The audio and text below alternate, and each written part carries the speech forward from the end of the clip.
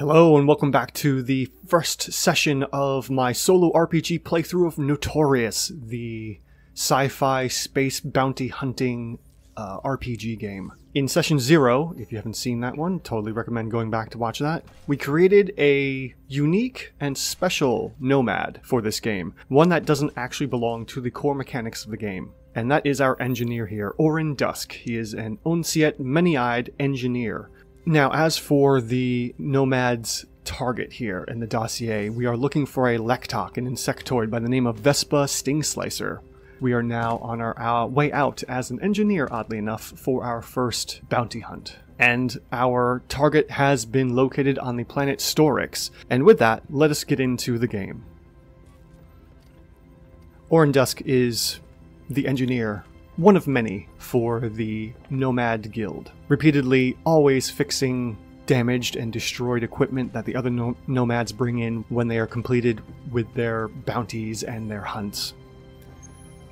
Many times, Orin has gotten into plenty of arguments with the other nomads, trying to get the other nomads to not damage their equipment so much, so that way it's easier for Orin Dusk to fix and repair their equipment. Many times the nomads will come in with their gear badly damaged as if it's more of just a tool than an extension of their body. You know, it would be so much easier if you all would just take the time to think about what you're using and what you're doing with this gear. It's not just a tool. It's more of a extension. It's more of who you are as a person. Think about all these bots that I have to fix and all the speeders and all of the, the spaceships. Why can't you all just take the time to think a minute before acting so rash and violently? And sure enough, many of the nomads would argue back with Orin Dusk about not knowing what it's like to be out in the heat of the moment, being in battle, and having to save themselves and save their own lives. Oh, I'm sure it's as difficult and as deadly as it sounds. I've seen plenty of you go out and come back no problem. Sure, plenty of them also come back in body bags, but I'm sure I could do just as good as the rest of you. And with that, the other nomads challenge him, and the Nomad Guild themselves, while confused about why one of their engineers want to go out on a bounty, decides to go ahead and offer this chance to prove themselves to the other nomads, seeing as though seeing as though Orin is the argumentative type. They easily give in to his requests to allow him to attempt one of these bounties. And this is where we begin our adventure. Orin has been tasked with collecting the bounty on Vespa Stingslicer in the planet of Storix. Storix is a planet a few clicks away from the Nomad's home base and place of operations. And with that, Orin sets off on their adventure for the first time. Orin Dusk is obviously extremely nervous about setting out for his first mission and going out to collect the first bounty of this Lektok. But nevertheless, Orin Dusk has argued his way into this first task, this first bounty, jumps into a spaceship that has been gifted to him as a trial to see how he does, and sets off for the planet of Storix. Flying to the planet, he quickly finds and lands in a hollowed out crater that provides shelter from prying eyes, and sets out into the terrain of Storix to find his first destination. Alright, and now that we've set out on our first destination here, we have to find our first exploration. Orin Dusk sets out after landing in this hollowed out crater and begins to travel to their first destination to try and find some leads to their target. Again, the terrain for Storix is very mountainy, colossal machines all over the place, dark tunnels through these mountains and through the lower sections of the colossal machines, and on top of that, there are active volcanoes, stuff that Orin Dusk will have to be very aware of and sure of themselves. So, we set off on our exploration to see what happens here. Alright, we end up rolling a 1 on the exploration table. Let's take a look and see what this says. There's no sign of your target, but something interrupts your hu- hunt. Roll once on the exploration table. We need to roll a 1d6 and go with that for our table. And then also a uh, another d6, I believe, for the events that happen there. So first of all, let's find out what table we're rolling on. A 4. Okay, so table number 4. This is going to be unique. So we have exploration events number 4. We'll go ahead and roll to see what we end up getting there. As you traverse a dense environment, you come across a hidden clearing where an ancient crumbling structure stands. Roll a die. On a 1 to 2, something happens, and on a 3 to 6, something else happens. So let's go ahead and roll this d6 to see what we end up getting here for this trigger. And we end up with a 3.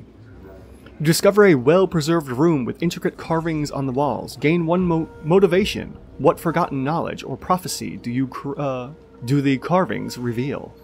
Alright, thanks to the strange carvings, we end up getting plus one motivation, which will help us in our battles against the leads and targets or any hostiles as well. So we'll keep track of that, and this allows us to re-roll uh, dice against or with our targets here. Okay, so we couldn't find our target right away based on uh, the environment that we landed on, but we ended up discovering a well-preserved room with intricate carvings on the walls. So let's think about how this plays out for Orin Dusk. Peeking out of the hollowed-out crater that Orin Dusk lands in, he makes his way through the massive mountains and finds a colossal machine, maybe long forgotten on this planet. Oddly enough, as Orin discovers this colossal machine, he goes and explores the interior of it and sees that on the walls of this machine there are strange pictures and carvings that look almost reminiscent of himself. A ship landing onto the planet, someone coming out and looking for a target. There's an image of the target itself off in the distance, and it seems as though there's a mural of events that lead to Orin finding Vespa.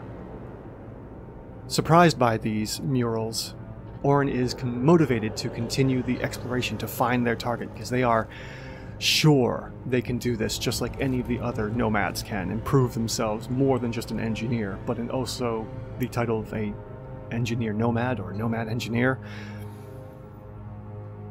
Hmm, interesting murals Surprising to find these here. This does kind of look like me. It's very strange. Nevertheless, I must continue exploring and see what happens next. Leaving this mural behind, Orin Dusk moves on to continue the journey to the next destination. And with that, we do find our first destination here, so let's go ahead and see what we end up encountering.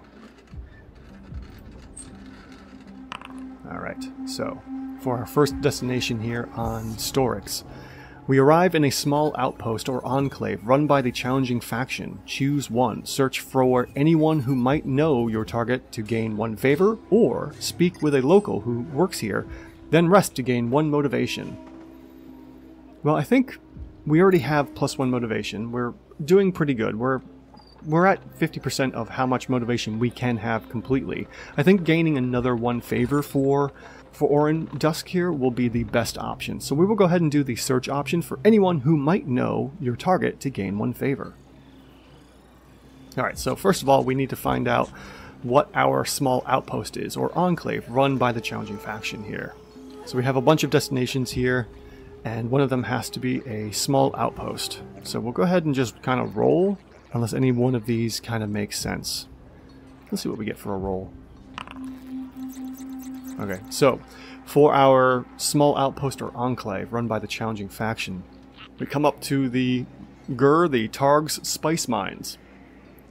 So our enclave here or small outpost is Gur, run by the challenging faction. It works out perfectly. So we will go ahead and do a search action. Now that we're searching for someone that knows about the target, let's see what we end up getting.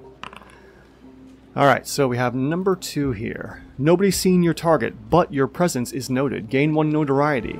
Who lurks in the shadows, observing your investigation? First of all, let's go ahead and add in the favor. So we'll go ahead and click that, and then we also gain one notoriety for searching for the target. Now, who's slinking around in here looking for us? Who spies us? Who knows? Who? Okay, let's go ahead and roll on the tables here to find out who was watching our engineer here. Okay, so we have a Talok, a reptilian, that is on Storix here. And let's get a name for Talok.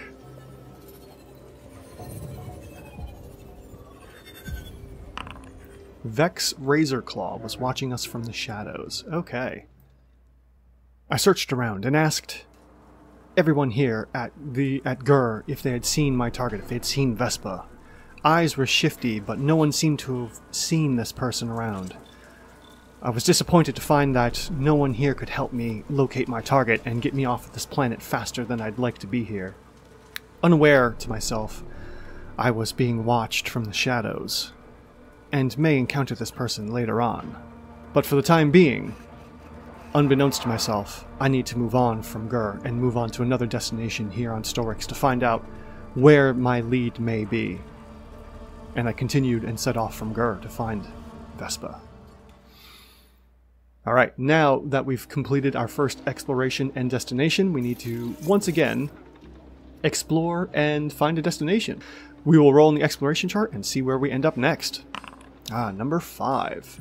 If your notoriety is 3 or higher, which is not, we only have 1, you encounter a lead. Otherwise, roll once on the exploration events table.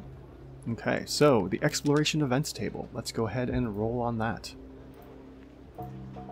And for our exploration events table, we are rolling on table number 6.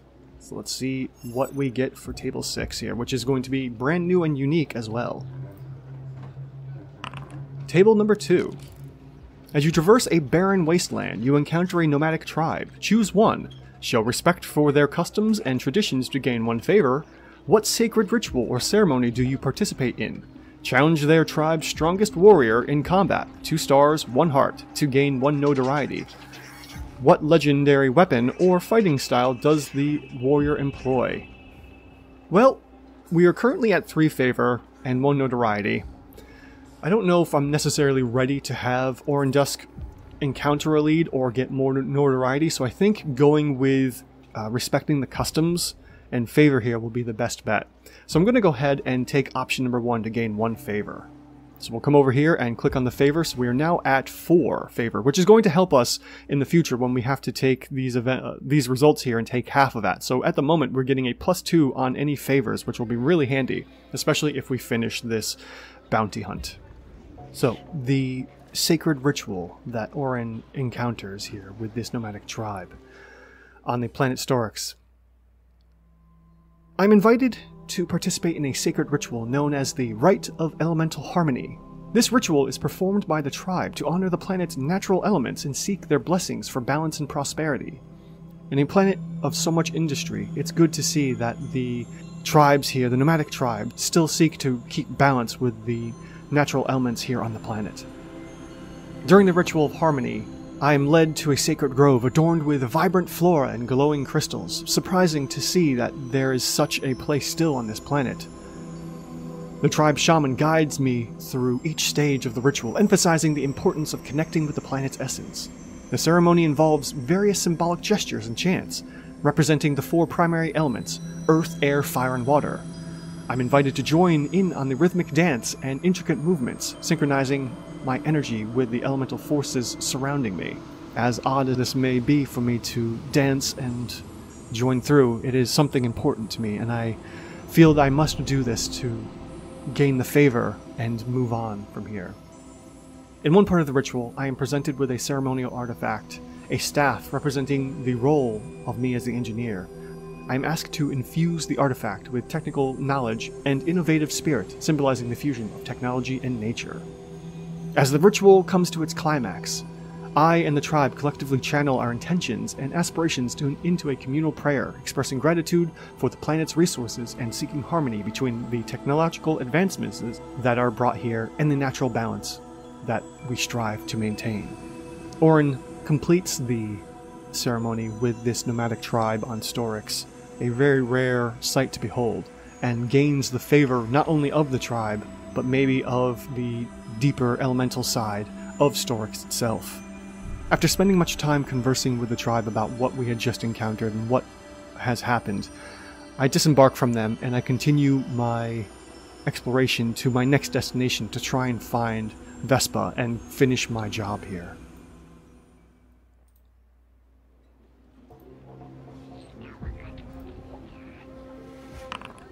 As Orin Dusk continues the exploration, he arrives at a fortified base or palace run by the controlling faction. Resolve both. 1. Gain 1 notoriety. If it's 4 or higher, a hostile guard approaches. Luckily, my notoriety is only a 2 now with this, so I do not have to worry about engaging a hostile guard. But I also have to roll twice on the destination events table to see what happens, so this could be good or bad. So let's go ahead and figure out where we are, uh, what we encounter here, run by the Red Moon faction here. Anything that specifically says Red Moon? We have the Jantis Temple, probably run by the Mystic Order. We have the Hex, the Executive Arena, Zuko, Zuko, the Hive Caverns, Nuka, the spaceport, or Dusk, the Red Moon Fortress. Well, right there we have to say that we have encountered the Red Moon Fortress because, well, we are running into the, uh, you know, the main controlling faction here. Now that we've gone ahead and rolled here, we have to roll twice on our destination events. So we will go ahead and roll for our first destination event, and that will end up being a 4. So we have to roll on table number four first, and then we will go ahead and do another one here to see what the other event is. Table 2. So table 4 and then table 2. We have to deal with both of these here at the uh, Red Moon Fortress. Okay, so for table 4, we end up encountering a prominent figure from your past. Whether friend or foe unexpectedly appears in this location. Choose one. Reconnect with the individual and gain one favor. How does their presence bring back memories or affect your current mission? Or comfort the individual and gain one notoriety. What unresolved issues or conflicts resurface during the encounter? With this, I've decided to choose the first one to gain one favor here. So we'll go ahead and add plus one favor. Bringing us up to five out of six, we will go ahead and talk about what, who we meet. Uh, we end up meeting a friend from Orin Dusk's past. As Orin Dusk arrives at dusk the Red Moon Fortress, he unexpectedly finds someone from his past, and to his surprise, it is a friend named Arya Veleth. Arya and Orin once had been close allies and friends, and she shared numerous adventures before parting ways with Orin and the Nomads. Reconnecting with Arya brings back a rush of memories and emotions for Orin, they reminisce about her past exploits, recalling daring escapes, ingenious inventions that Orin supplied, and the deep bond they formed as fellow engineers and agents of the Nomad Guild. The encounter with Arya stirs up a sense of nostalgia and rekindles the camaraderie they once shared. However, as the conversation progresses, Orin discovers that Arya's motivations have changed since they last met. Arya has aligned herself with a faction opposing Orin Dusk's current mission, and that one with the Mystic Order. Arya has become a foe, driven by a different set of beliefs and goals now. This unexpected reunion forces Orin Dusk to confront the stark contrast between their shared past and their divergent paths in the present. The encounter with Arya becomes a poignant reminder of the choices they both made and the different directions their lives have taken. So Orin is able to fondly remember all of the stories that he and Arya shared as he was yet to advance out onto his own mission that he's doing now, and begins to reminisce a bit and then, you know, realizes that Arya isn't here for the, the best of intentions. With a bit of an argument here of, you know, how could you do this to us? How could you leave the the Nomads Guild? Why did you leave in the first place? This is absurd. Arya can't get an, a word in edgewise as she knows Orin Dusk is of the argumentative type and continues on her way after sharing some time together. Alright, now that we have reconnected with a former guild member, we move on to the second event here. that happened to be number two on the rolling tables. So let's go ahead and go to, back to our tables here and see what we get for destination event number two. Hmm, number two here. A large group of soldiers from the controlling faction, the Red Moon, obviously makes sense why they're at the fort, are here. There's no way to avoid catching their attention. Roll a die. On a 1 to 4, a number equal to your roll of hostile soldiers appear. Plus 1 star and plus 1 hearts. Why have so many soldiers gathered here for uh, right now? Or 5 to 6, your nomad nomad's guild license holds up to inspection. Move along. Why are they checking every person's ID who passes through here? I mean, why would there be a whole bunch of Red Moon soldiers here in the first place? Well, we're at Dusk, the Red Moon Fortress, so that makes kind of sense. In any event, let's see what we end up getting here. Oh, thank goodness, we get a 5. So I don't have to worry about fighting anything right now, because we're an engineer. We're not necessarily built for fighting. And, uh, so I kind of, you know, kind of described why, uh, why there's so many uh, Red Moon guards checking uh, IDs anyways. But luckily, our, our Nomad's guild license holds out anyways. So, uh, after speaking with Arya and I'm on my way out, I encounter a group of Red Moon soldiers here at the fortress. Not surprising to see these soldiers here, but there are more than expected, and more that are out and about. Maybe there's been some moves by the Targ cartel here, and there's a bit of an uprising. You know, maybe someone poked the Hornet's Nest and got the Red Moon faction up and about. In any event, I hand over my guild license, they inspect it, and then tell me to move on very quickly. I don't spend much time here, and I do as they say and head out for my next exploration to find more information on where my lead is at. Okay. Orin Dusk leaves the Dusk uh, Red Moon Fortress and moves on to the next destination here. So let's go ahead and see where our exploration leads us to. Nor uh, number two. Let's see here.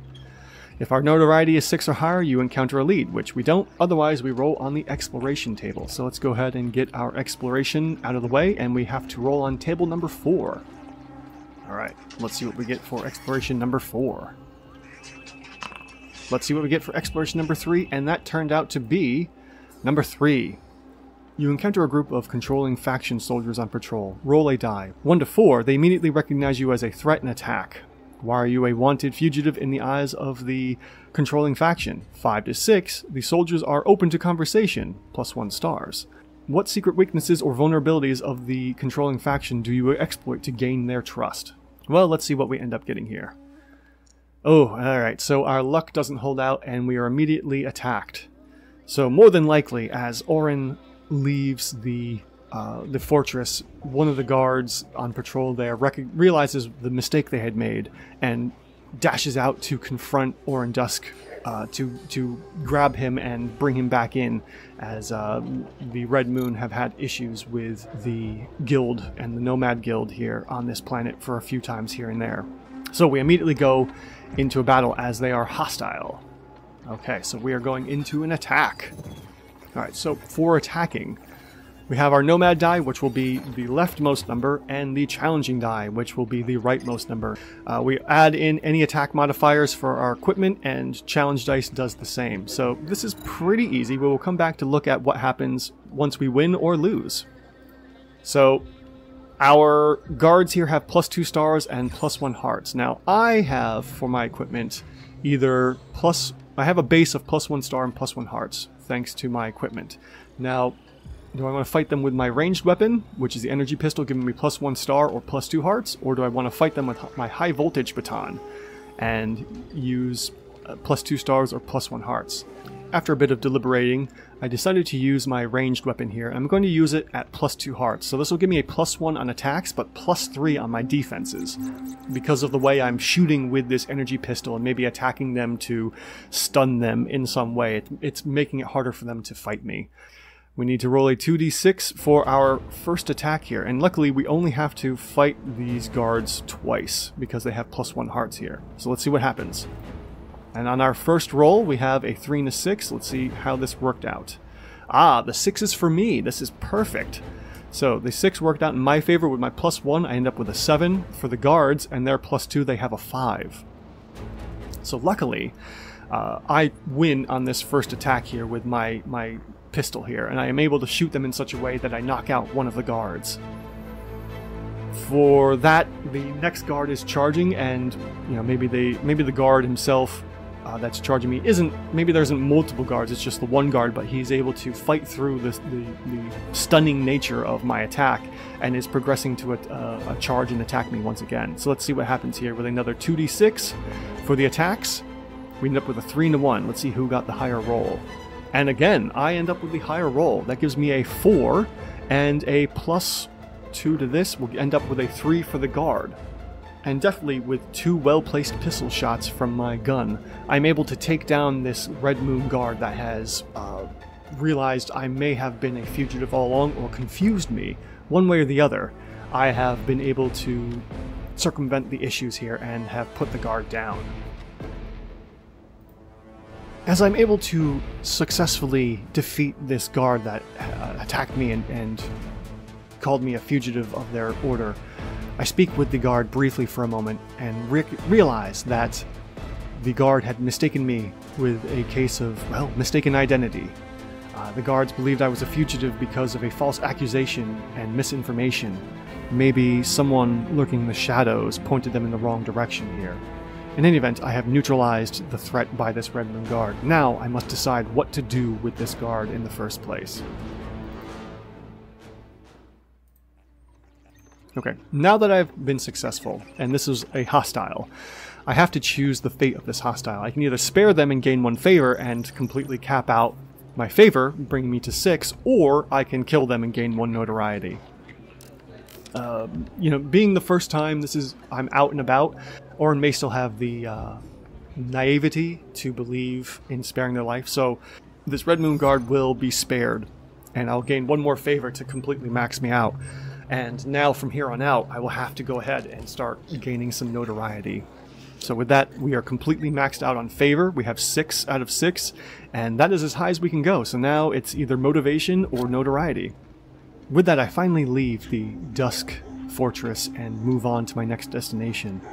Luckily, this was the only encounter I had during my next travels to location number three.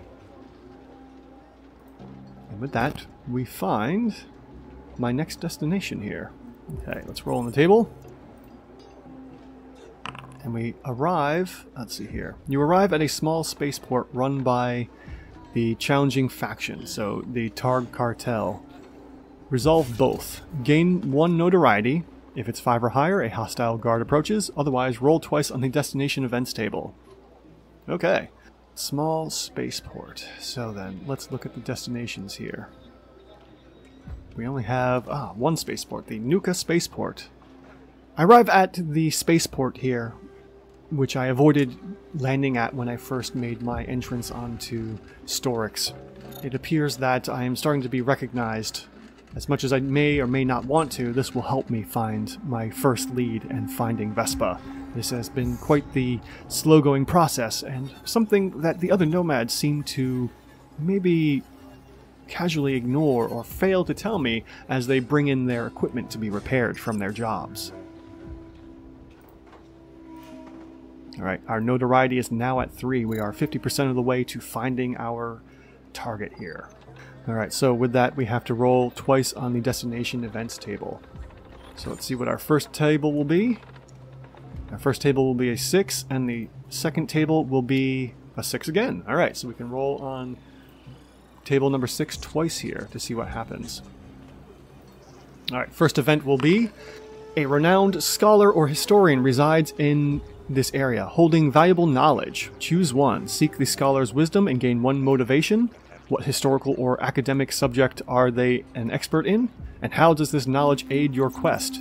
Or disregard the scholar's presence and gain one favor. Why do you believe their knowledge holds no relevance or importance to the mission? Well, this is going to be an, uh, an easy one for Orin Dusk. We already have our favor capped out, so we're going to go ahead and go and grab the motivation here. So this is going to be really helpful in, you know, dealing with other fights and whatnot, especially when we come across leads and the uh, the target themselves finally.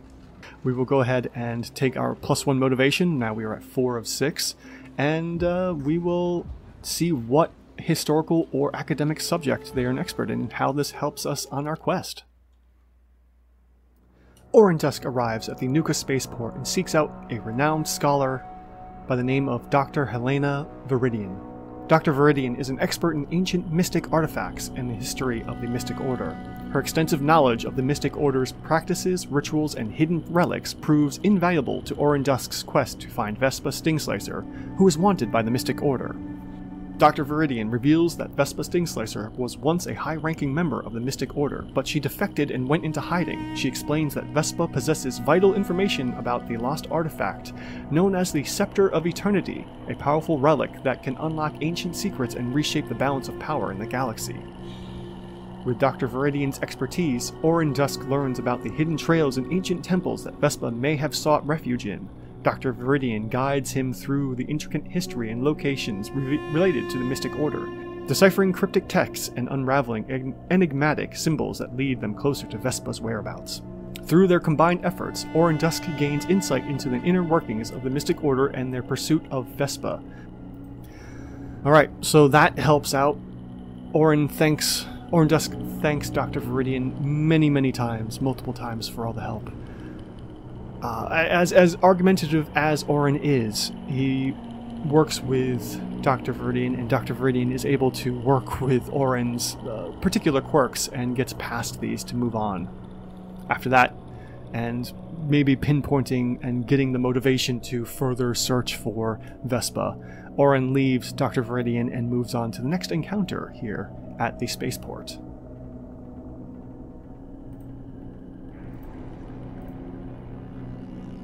Alright. So, this one doesn't exactly work with being in a spaceport, but we can uh, rework number 6 here. In the depths of a dense jungle, so it will say, in the depths of the spaceport here, we encounter a wise and reclusive hermit. Choose one. Seek the hermit's guidance and receive valuable advice or a prophecy, gain one motivation, which could be helpful. What significant event or destiny does the hermit reveal to you? Or challenge the hermit to a mental or physical contest to prove your worth and gain their respect. What uh, ancient skills or discipline does the hermit excel in? Well, this one needs to be reworked a little bit because there's no benefit for challenging him, so more than likely, I would say, for this part here, we would say plus one favor. We will go for the motivation because we don't really need anything else. So we'll go ahead and add in the motivation here. We don't need favor. So our motivation is now up to a 5. And once again, we have spoken to a wise person to help us find Vespa Stingslicer once again.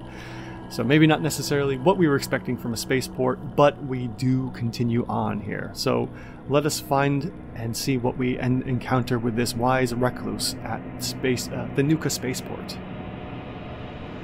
As Orin Dusk continues his journey uh, Leaving Dr. Viridian, he stumbles upon a remote and secluded corner of the Nuka spaceport, where he encounters a wise and reclusive hermit named Elder Kale. The hermit, known for his profound insights and connections to the cosmic energies, senses the weight of Orin Dusk's quest and beckons him closer. With a voice filled with ancient wisdom, Elder Kale reveals a significant event in Orin Dusk's destiny. He explains that the pursuit of Vespa Stingslicer is not merely a matter of capturing a fugitive or fulfilling a mission. Instead, it is a crucial step in a much grander cosmic design. The Hermit reveals that Vespa Stingslicer unknowingly holds the key to unlocking a hidden prophecy that has been foretold for generations. His prophecy speaks of a convergence of forces where the fate of countless worlds hangs in the balance, Orin Dusk's quest to apprehend Vespa is intertwined with the destiny of the galaxy itself. Elder Kale explains that by capturing Vespa and unraveling the secrets she holds, Orin Dusk will set in motion a chain of events that will shape the future of the Mystic Order, the balance of power in the galaxy, and ultimately his own path as well. The Hermit assures Orin Dusk that he possesses the strength, determination, and skill to navigate this intricate web of destiny and bring about the resolution that the prophecy demands. Once again, Orin is motivated by this Hermit and is determined to find his target here.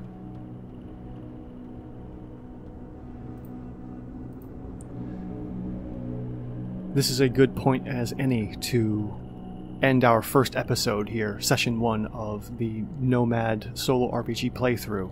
We will continue the story of Orin Dusk and his first bounty chasing down Vespa Stingslicer here on the planet Storix. Hopefully, we will be able to find uh, where the leads are in our next episode and maybe conclude with a battle with a target. But until next time, let us see what happens as the story unfolds.